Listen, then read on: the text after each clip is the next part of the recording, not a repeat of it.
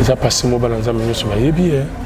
moto to ayebi frère blaise makabi ke azalaki orfele alala libanda nzambe azwai lelo akoma mosali na nzambe mhm. eh, témoignage wana presque tout le monde bayebi yango na lisungi ya molimo mosantu oza oyo toza lelo bana dine nzambe apambola yo ah, ah, malgré akuti biso na retraite voi yango eza ya retraite voi ya kozika voi ya losambo mais tokodebrie kaka tosala mpo mosala yango esengi bongo okay.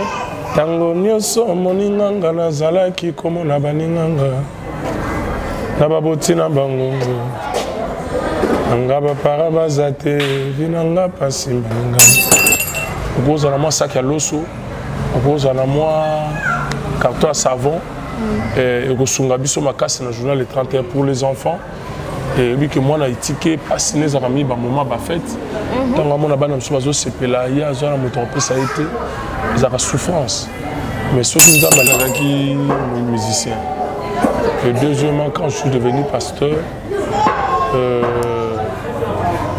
nakoloba nde na euh, bonzambe ezwi place par rapport lene ezalaki musicien bonzambe vraimen ezwi place makasi Frère Blaise, est-ce que nde ozalaka na kala moyibi nde lelo okomi wow. Ah, okomi ah, ah, pasteur estce bato bakopesa vraiment confiance mpo eza na bato mosusu baloba a te wana aza escro bino boyebi ye na kalada ezalaka mpo mwa makambo mike mike etikalaka kaka malgré tout nyonso ekendaka te mwa mike mike tika bon soki moto azosenga confiance mpo bato c'est trop dangereux la seule personne fo tosali confiance ya nzambe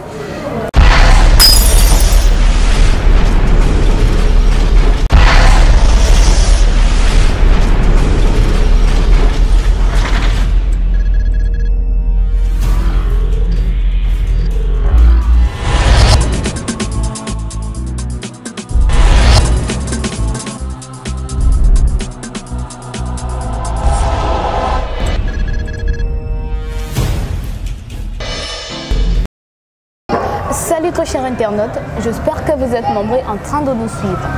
À travers votre chaîne Chéri Bandiex TV avec la présentatrice Noéline Lang.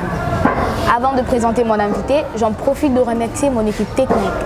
À la réalisation, Dalfi Kabambi Deka Kingakati, NTL, Madeleine Nadine, la coordonnatrice depuis Londres, ainsi que tous les membres de ma famille et pourquoi pas à vous nous suivez depuis vos maisons. Je m'en vais déjà rapidement à présenter mon invité au nom de Pasteur Blaise, Bonjour Pasteur Blaise. Bonjour ma Comment vous allez, pasteur Par la grâce du Seigneur, Dieu nous fait grâce aux astres. C'est vraiment un plaisir pour moi de vous recevoir cet après-midi sur mon plateau. Amen. Ok. Pasteur Blaise Nicole Belé, au Kenda Wapi Ngayo nazali, sokuti ngai. Mhm. Nazali, nayebi ke bana nzambe bakopoze baquestion na ebele. Mhm. Mais nazali eh, bandeko deja bana ba news deja bamoni deja ke makambo esi ezongi mhm. eh, banzembo bandi oleka na batelevizio na bainternet déjà na bandi basira baémission mhm. vraiment bandeko mingi babungaki ngai ce dernier temps vraiment bamoni ke frebe eza apparaître encore okay. mema biso mwa moke na passé na yo toyeba mwa passé mwa histoire na yo obetela biso passé ezalaka ndenge nini wow. eza passé mobala nzambe nyonso bayebi ye eh. motutu ayebi frère blaise maka ayebi ke azalaki orphelin alala libanda nzambe azwa ye lelo akoma mosali na nzambe mhm. eh, témoignage wana presque tout le monde bayebi yango na lisungi ya molimo mosantu toza oyo toza lelo mhm. vraiment bandeko oyo otika libanda oluki omema bango na nzela nzambe to otika bango kaka estce ozalaka contact ti lelo wa bamasta mpenza ah, ah, ah, antuka te bamasta vraiment te mais tozosala efort na bandeko baza sikoyo mhm. eh, tosala efo na bandeko baza sikoyo torataka te basensibilisation okende koteya bango eh, là où il y a des orphelins là où il y a des chegue mhm. eh, koyebisa bango ke badésespéré te dans la vie mpo balabala ebota motu te nzambe ala makoki lobi asalela bango mhm. eza fardo nzambe apesa biso ye tocontinue toujours kosala yango nzembo mfele ya pamba ezalaki inspiration eutaki mpa na yo to mutu eutaki pa père spirituel wow.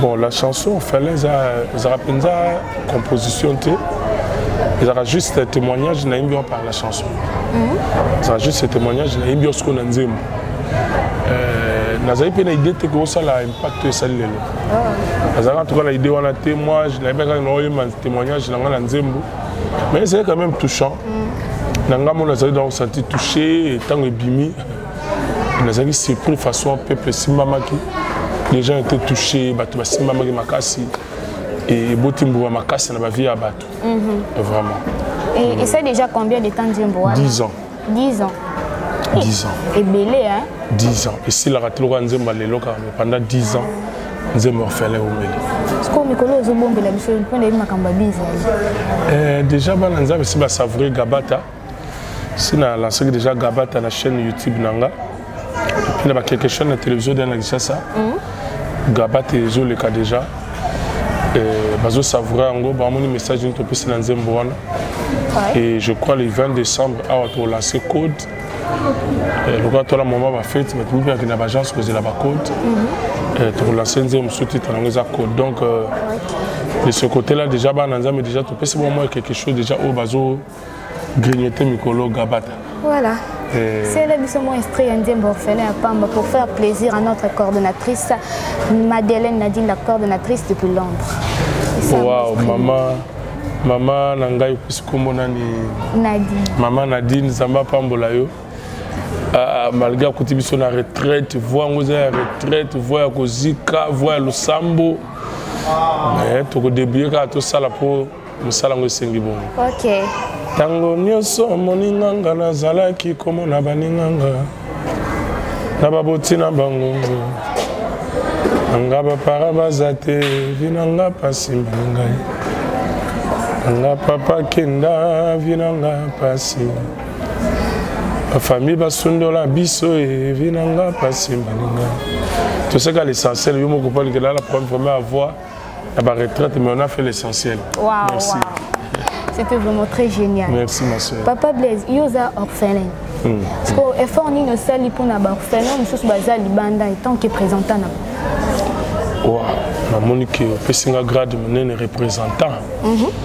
ah, nzambe apambolo nayambi profesi wana nayambi eh, profesi wana elata nzoto mais euh, tosalaka baactivité ebele concernant les enfants on fait l'un les enfants de la rue mm -hmm. on fait beaucoup des activités neti ya neo déjà na osala lisusu ouais. tosala le 24 tosala le 25 et puis tosala le 31 ouais.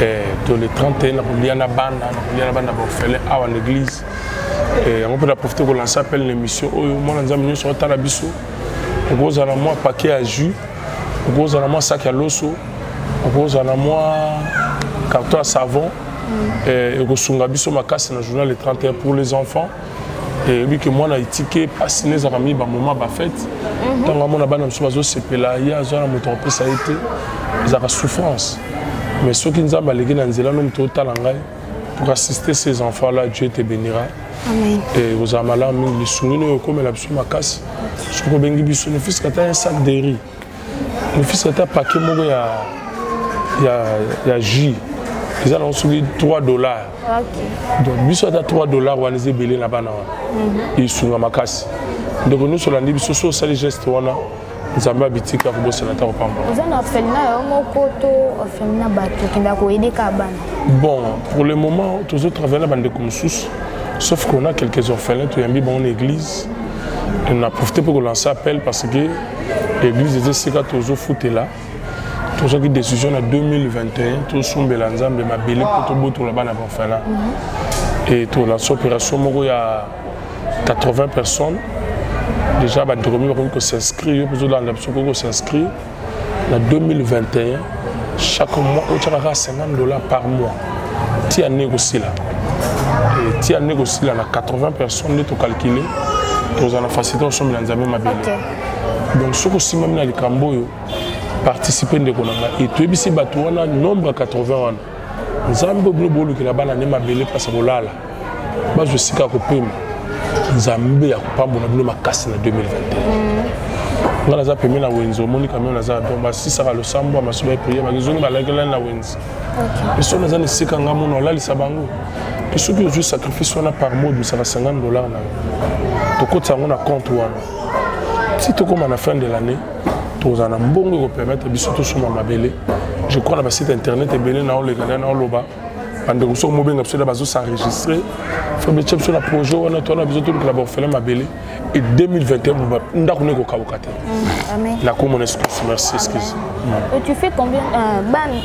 plus de 60 po osalaka ndenge nini po encadre bango mpe toyebi na kati na bango makambo ezangaka te mo makambo mike mike ezalaka na yango po plus de 60 mfok oencadre eza vraiment difficile te koencadre vraiment eza mpasi parce que tozwi nanu esika ya biso moko te mhm.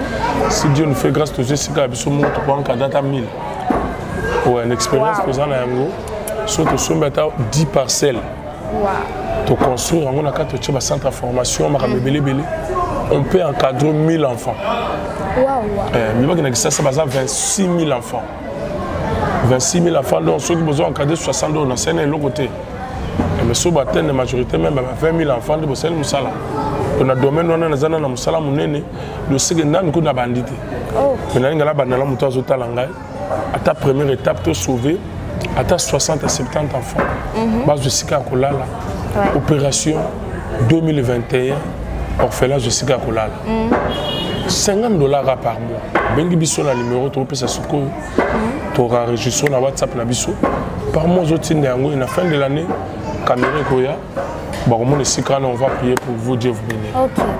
osalaka ndeni mpo osepare emploi du temps na yo sur la musique mm. et l'église en tout cas euh, eza mwa mpasi omoni lelo azalaki musicien je joue c'est la védétaria lelo wana oza vedette bato bazolengela yo mais quand je me suis devenu pasteur sikoyo ngai nakomi olengela baame donc flèche esali retour sikoyo okay.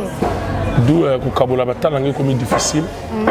euh, baprogramme ya misiki ezwa na omema nauti mbandaka nauti lukula nauti euh, kisantu kosala mosala ya musique mais na profitaki na mwa temps ke mwa mbangu ozongi mbangu pour, pour garder l'église mhm. temps ya mosala nzambe ezwanga ebele par rapport à temps oyo nakoki kozwa mpona akende kosala mosala ya musique mais au fur et à mesure kaka tokobokola bana toza koencadre église eza na trop jeune wana na 2 ans tozokoma ba 5 ans 6 ans comme on a déjà des pasteurs bako maîtriser musala wana ko bana obima na nga premier ozala te ok voilà différence nini omoni na banzela nyonso olekisi aujourd'hui pasteur mwa différence ekozala makasi ah, eza lelo nakoloba ke pendant que je suis serviteur de dieu mhm. namoni nzambe astabilise un ministère na nga ministère ekomi stable par rapport lelo nazalaki musicien et deuxièmement quand je suis devenu pasteur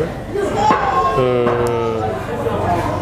nakoloba nde na euh, bonzambe ezwi place par rapport lelo nazali musicien bonzambe vraimen ezwi place makasi na vie na yango et je bénis dieu pour ça donc ma vie pastorale ebakisi ebele na bomoi na ngai ya bomwana nzambe parce que le azalaki musicien na végétarien on faisait tout hein. Ah, okay. eh, mais lere tokombela bapasteur maîtrise ekoti na mosala nzambe makasi mm. eh, merci. Eh. mwa conseil moke mpo na bato oyo basengaka mbongo na misala ya nzambe na bamusicien mpe oyo basalelaka nzambe mpe na ndenge asolo te ah, kosenga mbongo ndenge euh, olobi wana ya mpe différent parce que évangile eza gratuit gratuit mais pour évangéliser ça demande l'argent ok mais bamosusu bakoma osala yango na ndenge moko ya mabe omona ntango mosusu panie bato bazoleka meme 4 fois tobongisa so bato bazokende na bar bazodepense mbongo ebele asomi milangi bongo mpa nzambe so moto adepense mabe eza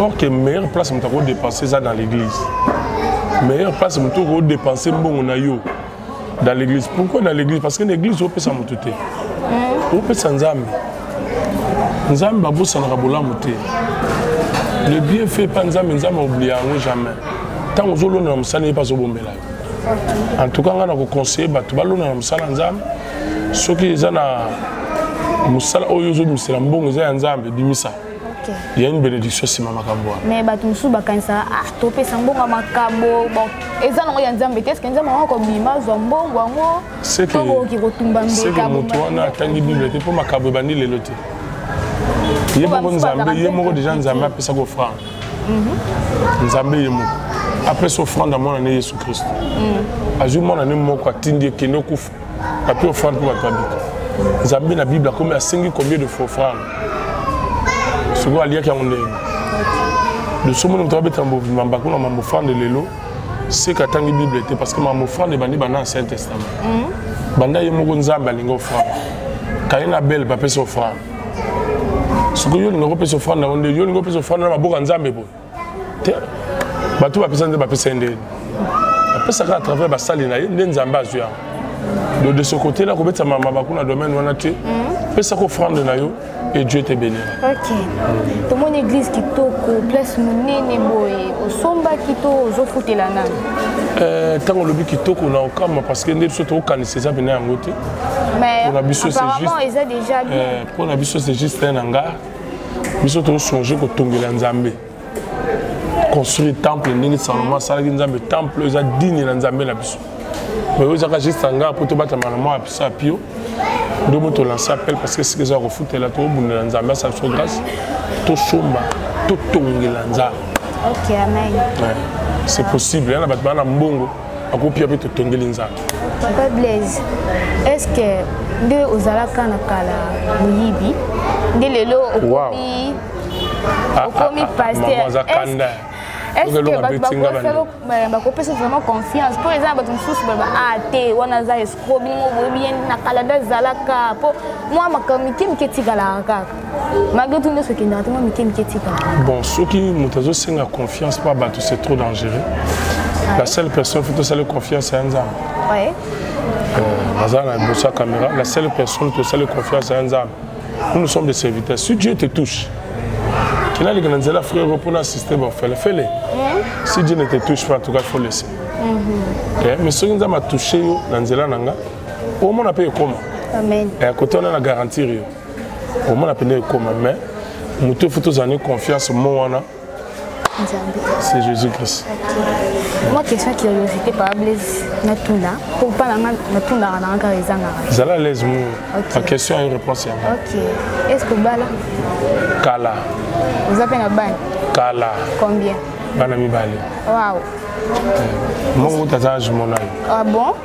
Eh. Osali déjà combien de temps na ministère na yo depuis obanda? Ah, toza na 2 ans ministère.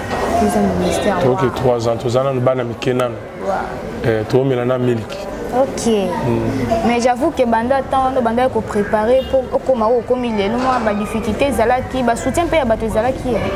Bon, nga mpena na parcelle te kozala pasteur. Okay. Eh, donc euh, soki eza lelo nazo boya makambo oyo mais lokola ezalaki na plan ya nzambe qu'un jour nazala mosali na ye voilà lelo na se retrouve na kati elanga na ye mpe nasala mosala na nzambe mhm.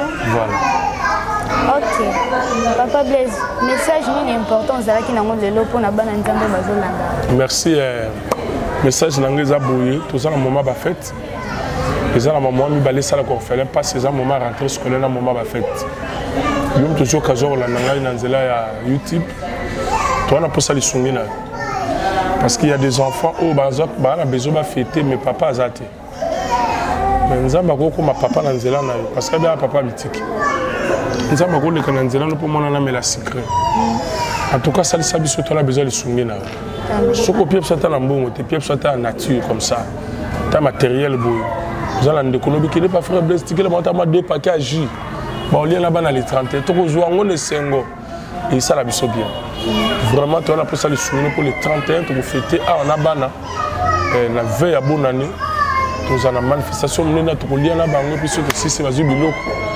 permettre moi d'aller en janvier. Merci pour votre attention, ça n'est fini pour aujourd'hui.